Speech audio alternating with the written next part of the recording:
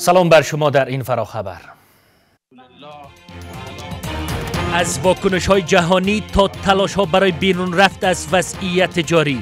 شماری از چهره های سیاسی، مقام های حکومت پیشین و فعالان مدنی در بیرون از کشور در نشست مجازی خواهان گفتمان ملی در افغانستان شدند و از جامعه جهانی می‌خواهند تا از آغاز گفتگو میان افغان ها پشتیبانی کنند.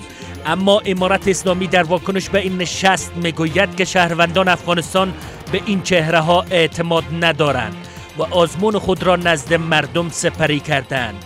چهره های سیاسی حکومت پیشین به دنبال چیستند و در نهایت اگر این چنین موضوعگیری ها و واکنش های کشورها ادامه پیدا بکند حکومت سرپرست چگونه پیش خواهد رفت؟ اینها و بیشتر در فراخبر. مهمانان شریک در بحث دکتر نعیم محمد نعیم سخنگوی دفتر سیاسی امارت اسلامی در قطر و عمر سمد سفیر پیشین افغانستان در فرانسه با ما وصل هستند مهمانان عزیز سلام بر شما به برنامه خوش آمدید. آقای سمد بحث را با شما آغاز می‌کنیم. در همین یک نیم سال نشست های متعددی برگزار شد و روی صحبت های داشتیم جریان ها اعلام موجودیت کردن حرکت های حالا جریان سیاسی به نام حرکت ملی صلح و عدالت اعلام موجودیت کرده. چی چیز باعث شد که پس از یک یک و نیم سال حالا دوباره اینا اعلام حضور کردن؟ بسم الله الرحمن الرحیم. سلام به شما دکتر سبنعیم و بینندگان نهایت عزیز شما در داخل و خارج کشور. سلام.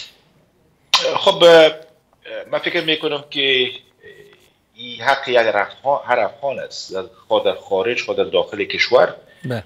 تا در ارتباط با قضایای کشور خود ابراز نظر بکنن در موضوعات سهم بگیرن مشوره بکنن حتی تعامل داشته باشند ولی این حرکت جدیدی که برای افتاده تا جایی که معلوم میشه البته یک حرکت سیاسی بیرون مرزی است تا به حال بله.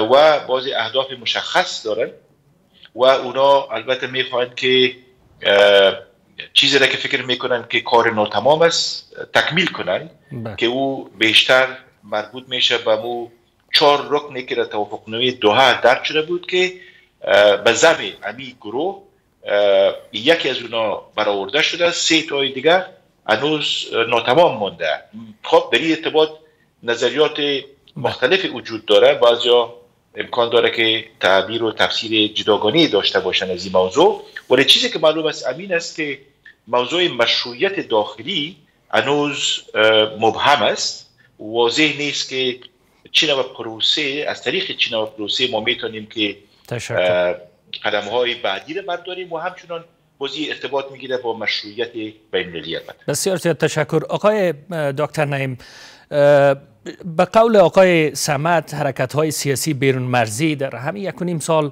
چندین نشست برگزار شد و حتی اعضای امارت اسلامی در یکی نشست دو نشست شرکت داشتند و صحبت شد در خاک اروپا. حالا هم یک جریان سیاسی حالا به نام حرکت ملی صلح و عدالت اعلام موجودیت کرده. چهره های سیاسی حکومت پیشین و فعالان مدنی به دنبال چی هستند بسم الله الرحمن الرحیم. نخست با شما و همکاران شما و محترم دکتر صاحب. و همچنان به همه ملت مجاهد عزیز و سلامات احترامات را عرض می دارم من فکر کنم چهره هایی که یا صداهایی که شنیده میشه از یک طرف از دیگه طرف از آدرس هستند که آنها در 20 سال اینجا همه را تجربه کردن. هم خودشان تجربه کردن خود را و هم ملت و مردم و جهان آنها را تجربه کردن. آنها در اختیارشان تقریبا بگویم همه امکانات جهان در اختیارشان بودن. از هر نگاه سیاسی و نظامی و استخباراتی و مالی و لیکن متاسفانه هیچ چیزی را نتوان بغیر از اینکه در 20 سال یکی موضوعاتی است که اصطلاح به سرنوشت ملت و سرنوشت مردم تعلق داره. اما چیزهایی که آنها تا در بین خود جور آمدن نتانستند وقتی بینشان مشکلات پیدا می‌شد اما در جریان هستند که از بیرون باز آن حل میگردیدن هم حل موقت دیگه هم فکر کنم اضافه از بهتر است برای آنها که اگر زندگی آرام خود را به سر ببرن خود را در اینجا جال بندازن اضافه تر و مردم را دیگر رنج بدهند.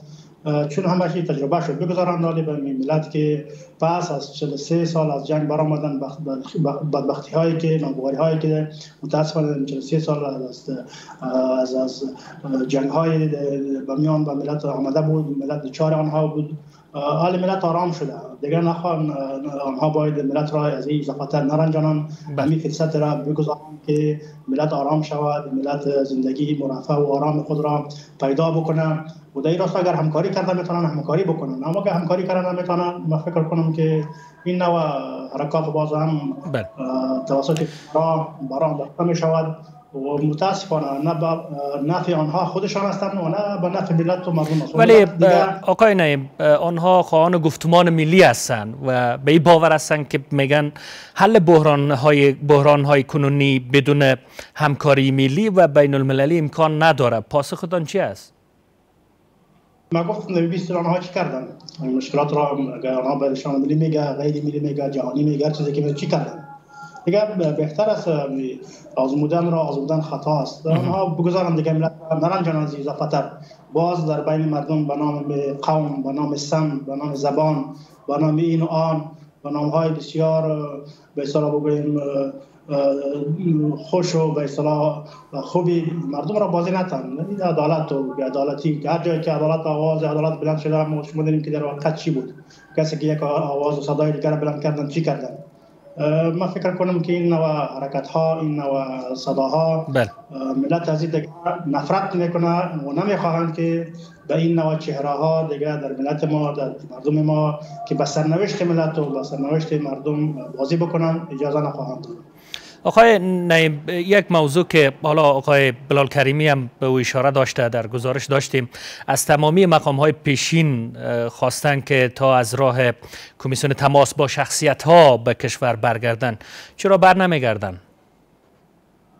این موضوع را باید از آنها از خودشان پرسان شدن. بله این موضوع را ما خواستم در راستا اشاره داشته باشم که اگر آنها می‌خوان به کشور برگردن نمی کشورشان است نمی خاکشان است نمی خانهشان هستن هر افغانی که بدون استثناء هر چیزی که در سال 20 سال گذشته گذشت دیگه بیان آرام زندگی بکنن و مردم را بگذارن که زندگی بکنن. و کمیسیون بسیار از اعضای برجسته امارسان آسان تشکیل داده شده. به این خاطر است که آنها هر کسی که خواسته باشن پس به مردم خود به ملت خود برگردن و در این زندگی بکنن از این چیزا چیز جور نمیشه.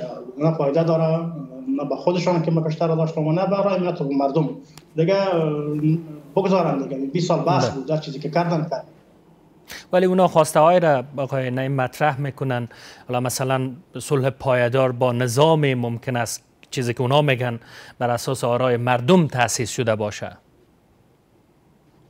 بازم هر پای را که عنوان ها هستن چیزی عنوان میشه اما در حقیقت ما باید دیگه از این حقایق پای برده باشیم. همه چیز را فهمیده باشیم. بیشتر گفتم که همه چیز در اختیارشان بودن. وضعیت در اختیار آنها بودن در وضعیت سیاسی بود اقتصادی بود اگر دیگه بود. چی کردن؟ کم از کم اونها به ملت و مردم بگوید که ما این کار کردیم. به خیلی ملت و به خیلی مردم. حکمی 20 سال یک, یک روز نبود دو روز نبود یک سال نبود دو سال نبود ده سال نبود 20 سال. 20 سال یک بسیار زمان بسیار دراز و بسیار زمان کلان است که اگر کس می‌خواسته یا خواسته می بود که به مردم و ملت خدمت بکنه می‌تونست. اما ما شما دیدیم که آنها چی کردن؟ حتی حالا شما می‌بینین کارهایی را که آنها در 20 سال در داخل شهر کابل اگر بگیم مثلا که در اطراف مشکلات بود یا چیز دیگری بود ببینید شما در شهر کابل از 20 سال شهر کابل چطور بود؟ وارد یک سال چه تغییرات با میان آمده؟ راه سالنگار شما و شما در جریان هستیم که 20 سال چه حالت بودال ببینیم یک سال چقدر تغییر به میان آمده. خب این است که همین تغییرات مثبتی که در, در, کشور رخ داده. از این ها پشتیبانی بکنن بیاین.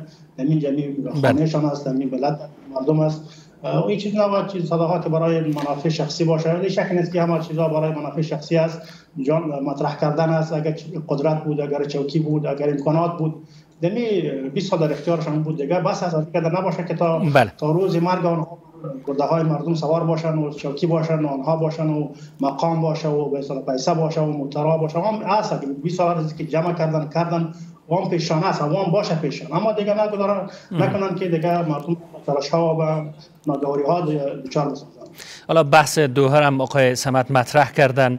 اونا هم آقای اتمر میگه که سه بخش توافقنامه دوها که به سود مردم افغانستان بود عملی نشده است که گفتگوهای میان افغانان یکی از بخش های توافقنامه دو هست اشاره می‌کنن من پرسش می است اگر این چنین موضوعگیری ها و واکنش ها در بیرون ادامه پیدا بکنه چگونه پیشرفتی در آینده امکان دارد که به وجود بیاید در مورد افغانستان؟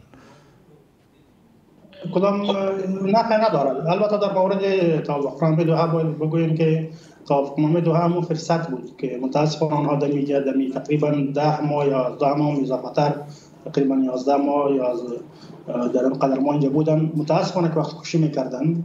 اما دیگر از ما شما که شش ماه. پروسه رهایی زندان ها را زندانی ها را با تاخیر و طریق انداختن. باز همچنان سه ماه دیگر که در اونجا بود باید توافق طرز العمل با طرز العمل که کار یک دو روز بود متاسفانه را به سه ماه کشاندن. همچنان دیگر بعد از که باز انتخابات امریکا شد اونجا یک طرف دیگه طرف می دویدند و نمی‌خواستن که اینجا مذاکرات مثبت یا مذاکرات درست و واقعی صورت بگیرد. تا باشه که مشکلات که امروز می‌خواد دوباره به مو آب کرفتال دوباره پس از اون بیلچه گرفته آب رفته را برمیگردن. فرصت ها بود رفت از بین رو بود. که آنها نخواستن یا نکردن یا نمی‌توانست هر چیزی که بود. حالا یک تحول به میان آمد یک تحول مثبت است. ما شما می‌بینیم مشکلات روز به روز حل میگردد. بهتر است از امی نظام فعلی حمایت بکنن. همه ملت و مردم در چی در خارج هستند چی در داخل هستند. امی یگانه راه بله. حل است. دیگه از اینجا دیگه دوباره آنها اگر کسی فکر کرده باشند که نظام حکومت یک میراث است هر کس بیاید دیگر حصه خود بگیره چنین بله. نیست. در اسلام ما شما می‌تونید که اصلا پس شما بله. سرنوشت ملت مهم است سرنوشت کشور مهم است. درست. الحمدلله باید رقم خورده. امی حالت باید دوام بکنه و کاستی ها و مشکلاتی که در پیش رو قرار داره آنها هم ان به مرور زمان و وقت حل میگردد. ما امیدوار هستیم که در نهایت هم مشکل حل گردد. پس پرسش اخیر این گونه از شما بپرسم که هیچ سازشی با اینا در کار نیست و گفتگوی گفتگوهای مثلا در آینده صورت نمی‌گیره. امارت اسلامی موقفش روشن است. درست؟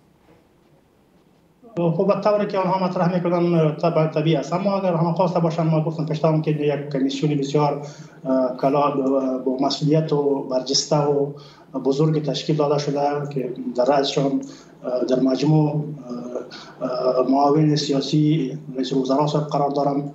دیگه اعضا هشت وزیر تقریبا از های مختلف امنیتی و خارجه وزارت خارجه و همچنان دیگه وزارت ها وجود دارن. استخبارات و وزارت دفاع وزارت دفاع وجود دارن. می‌تونن با آنها در تماس شوند. مشکلاتی که آنها اگر نظر داشته باشن مشارکت داشته شریک بسازن اما به این طور که آنها دوباره موضوع را سر می‌گیرن من فکر کنم که فرصت از دست رفته دیگه آب رفته دوباره بر نمیگرده بسیار زیاد تشکر از حضورتان آقای دکتر محمد نعیم سخنگوی دفتر سیاسی امارت اسلامی در قطر که قبلا هماهنگ کرده بودیم که مدت یک بخشی از خبر فراخبر با شما بحث می‌کنیم به کارهای دیگر میرین و حال بحث خود را با آقای سمد ادامه میتیم آقای سمد صحبت های آقای نعیمه شنیدین و حالا من می‌خوام بپرسم که خواسته هایشان اونا مطرح می‌کنن در بیرون و هر از گاه ما شاهد هستیم. پیامدهای این صحبت ها بگو مگوها در مورد وضعیت جاری افغانستان چه می‌تونه باشه با توجه به واکنش های بین المللی هم شاهد هستیم؟ بله خوب است که از دکتر سنئی موقف طالبان شنیدیم در ارتباط با همچو حرکت ها چی است. این حرکتی که دیروز اعلام شد البته اولین حرکت نبود. تا جایی که دیده میشه دومین حرکت سیاسی است که از بیرون از افغانستان برا میفته ما به فکر می‌کنیم امکان داره باز حرکت های دیگه هم در آینده امکان داره که اعلام شود. و کسی البته مانع از کارم شده نمی‌تونه. بله. عواملی که عوامل عواملی که باعث میشه این چنین حرکت ها بالا بیاید چی است؟ بله. خب چند عامل است. یعنی ببینید باید اوزار هم در داخل هم در منطقه هم در خارج مورد ارزیابی قرار بدیم. ما خودم همیشه به این فکر بودیم که در قدم اول چیزی که در داخل افغانستان میگذره مندار آیز اهمیت بیشتر است. بله. و این هم خوب است که طالبان یک کمیسیونی را موظف ساختن تا از افراد و اشخاصی که در گذشته ماموریت داشتن استقبال بکنن اونا پس به وطن برگردن و تحت شرایطی که طالبان وضع کردن می‌خواین زندگی کنند یکی زندگی روزمره است یکی معلومدار امکان داره آرزومندی ایده باشد تا در بازسازی کشور در امور سیاسی اجتماعی اقتصادی کشور سهم بگیرن بله. برای بعضی امکان داره که بعضی محدودیت های وجود داشته باشه که نتونن و یا نخواهند که به افغانستان برگردن ولی امارت اسلامی شما صحبت های که از آدرس امارت اسلامی شد آقای نعیم هم صحبت کرد شنیدین که در مورد کارنامه کسانی که در بیرون هستند شخصیت های سیاسی و چهره های سیاسی حالا مقامات حکومت پیشین که در مورد کارنامهشان که زیر سوال می‌برن و پرسش دارن و در میگن که برای مردم پذیرفتنی نیست اونا. شما با سخنگویانشان و اعضای از این گروه ها هم بتانید که مستقیما صحبت کنید تا اونا از موقف خود چیز بگوین ولی ما باعث یک آدم سالس و سیلبین به اصطلاح ناظر حوزا می‌تونم بگویم که این کار خوبی بود که مثلا امی حرکت اعلام کرد که عوامل سقوط یکی به اتفاقی بود دیگر فساد بود و دیگرش هم موضوع ازی بود که مثلا توافقنامه دوها بله. در اونجا یک نقش بازی کرد و از خودخواهی هم یاد کردن. همین سه چهار عامل اینا برشمردن و حاضر هم شدن تا در محضر عام حتی جوابگو باشن پاسخگو باشن و اعمالی که صورت گرفته چون در گذشته یقینا در 20 سال گذشته و بالخصوص در 7 سال گذشته تصامیم اتخاذ شده که خب به زمین بازی ها به نفع افغانستان بوده به زمین بسیاری به ضرر افغانستان تمام شده ولی امروز با یک حالت جدید روبرو هستید بله. و در این حالت جدید باید تصامیم گرفته شود بازی میارهای بالای بازی میارها باید تصمیم گرفته شود بله. بالای ساختار نظام هم باید تصمیم گرفته شود بله. و سهمگیری افراد. سهمگیری سهمگیری افراد و اتباع و شهرنشینای از این کشور خود در خارج خود در داخل باید مورد ارزیابی قرار بگیره. تحت کدام شرایط؟ در, در داخل کدام چوکات قانون یک طبعه افغانستان می‌تونه که در موضوعات سیاسی سهم داشته باشه؟ و امیدوار هستم که در این قسمت امی نظام فعلی که حاکم است باز تصامیم میده بگیره از طریق گفتمان ملی در بله. داخل باید شروع شود. اگر کسانی از خارج هم می‌خواین سهم خود بگیرن در این باید حق از داشته باشند که شرکت بکنند لحاظا یک یک عملیه یک پروسه باید ملی و یک گفتمان ملی برا بیافته تا ما جوابگوش باشیم و بتونیم که یک مکانیزم را برا, برا بیاندازیم که از او طریق همه اتباع و گروه ها بتونن که سهم خود داشته باشند. با توجه به قضاوت هایی که شده میشه و شما می‌بینین آیا ایجاد این چنین حرکت ها به نفع افغانستان است یا به ضرر افغانستان؟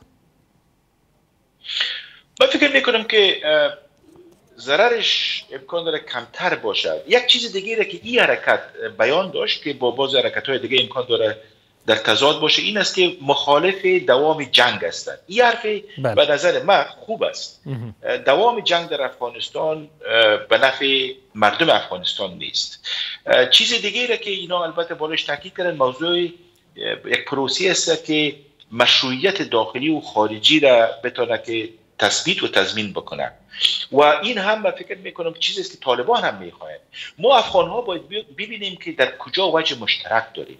در این جای شک نیست که کسانی که در گذشته گفتم باز هم در مقام های مسئول بودن و اینا کسانی بودند که در تصامیم بزرگ ملی و کشوری سهم داشتند. خواه نظامی خواه ملکی خواه داخلی خواه خارجی. اینا باید در یک مرحله جوابگو باشند و بالخصوص اونایی که متهم به فساد بزرگ مالی هستند و ما, ما طرفدار ازی هستم که همچون یک پروسه تحت حتی نظارت ملی و حتی مستقل بینالمللی صورت بگیرد ولی وقت و زمانش باید تعیین شود.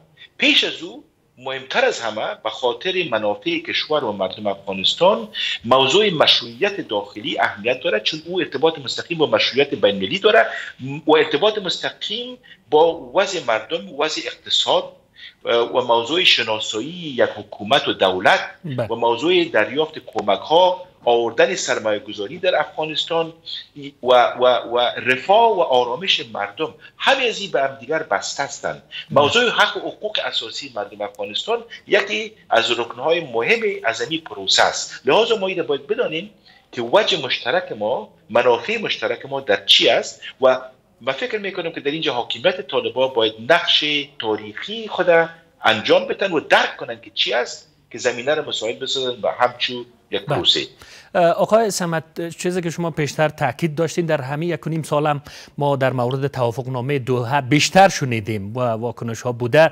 حتی به برگشت به توافق نامه دوحه از سوی کشورها مطرح بوده نهادها برخی کشورها مطرح بوده و نهادها. ولی با حالا اینا میگن که سه بخش توافق نامه دوحه که میگن به سود مردم افغانستان بود عملی نشده. خب دیدگاه آقای نعیم شنیدیم گفتن که یک فرصت بود از دست رفته. در موردش خب حالا بحث کمیسیون تماس با شخصیت ها مطرح میگن که برگردن به کشور از طریق ای کمیسیون. احتمالی وجود داره که توافقنامه دوحه دوباره برگرده یعنی با توجه به واکنش هایی که می‌بینین از سوی حالا آمریکا کشورها.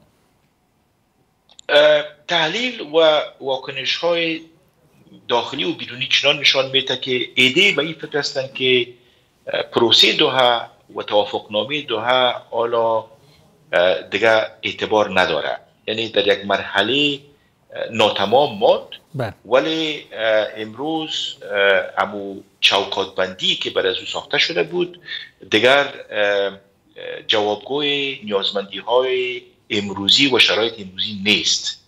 ولی من فکر می‌کنم که چیزی که از دوها ببینید چهار رکنی که دوها داشت اما بله. تقسیم اوقات خروج نیروها بود که او به یک شکل از اشکال برآورده شد.